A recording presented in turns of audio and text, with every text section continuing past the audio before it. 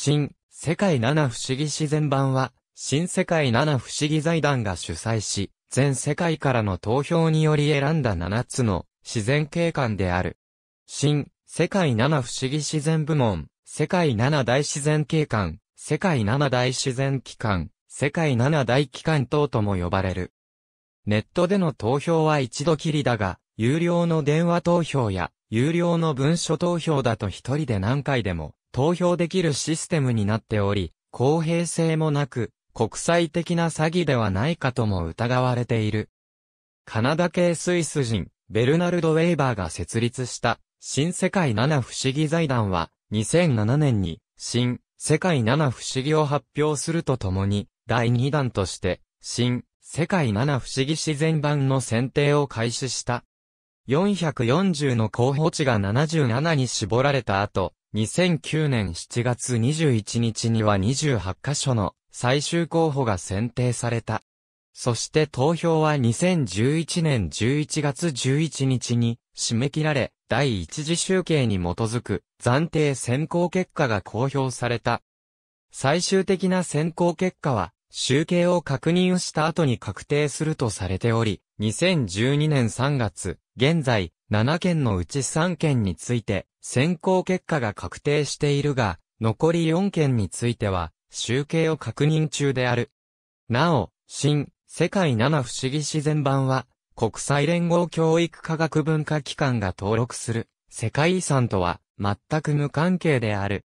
ユネスコは第1弾の新世界七不思議が選定された際に世界遺産とは異なる基準と目的に基づいて行われたものであり、ユネスコとは相入れないと批判している。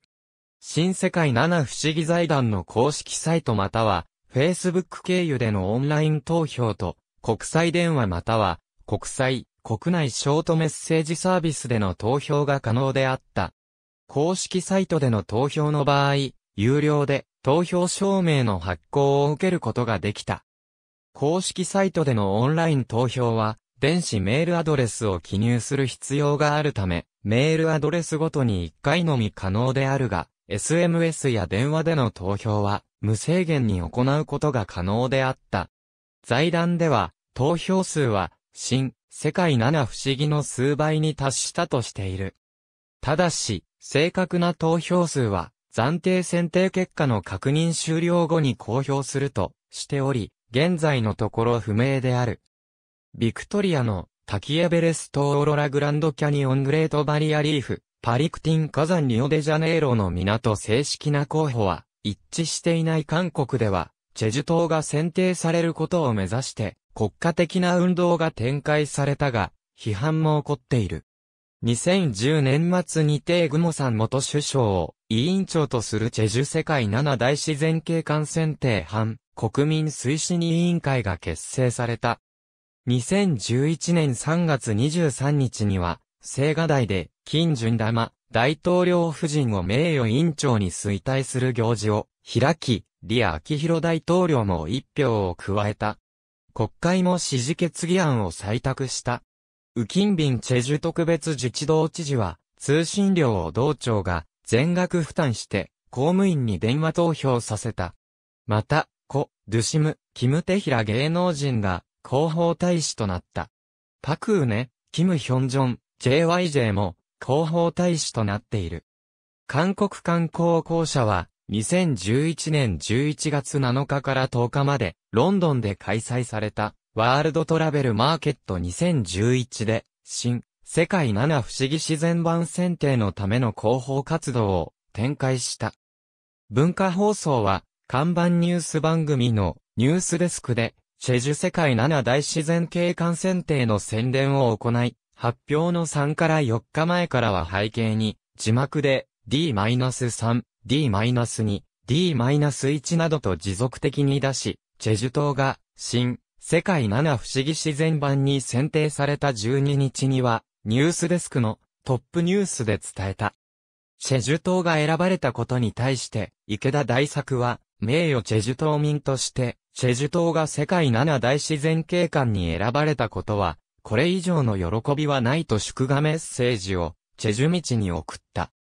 韓国放送公社は、テレビ番組、追跡60分で、重複投票が許され、チェジュ島の得票の多くが公務員らの電話投票によるものだったことや、候補地の得票数が公開されていないことを批判した。番組によると、財団はインドネシアに、新、世界七不思議自然版の発表式の開催費用を要求したことがあり、チェジュ島も同様の可能性があるとした。また、番組の取材陣がスイスの財団本部を訪ねてみると、そこは財団創設者の母が運営する博物館だった。現地では財団を知る人もなく、ドイツにあるという事務所も存在しなかった。チェジュ道は、新、世界七不思議自然版の投票のために211億、ウォンもの行政電話代を使ったことが明らかになっている。電話料金を1回100ウォンとすれば、公務員が行政電話で国際電話を2億回以上もかけたことになる。チェジュミッチは KT と協議し、電話料金を1回1200ウォンから100ウォンまで下げていた。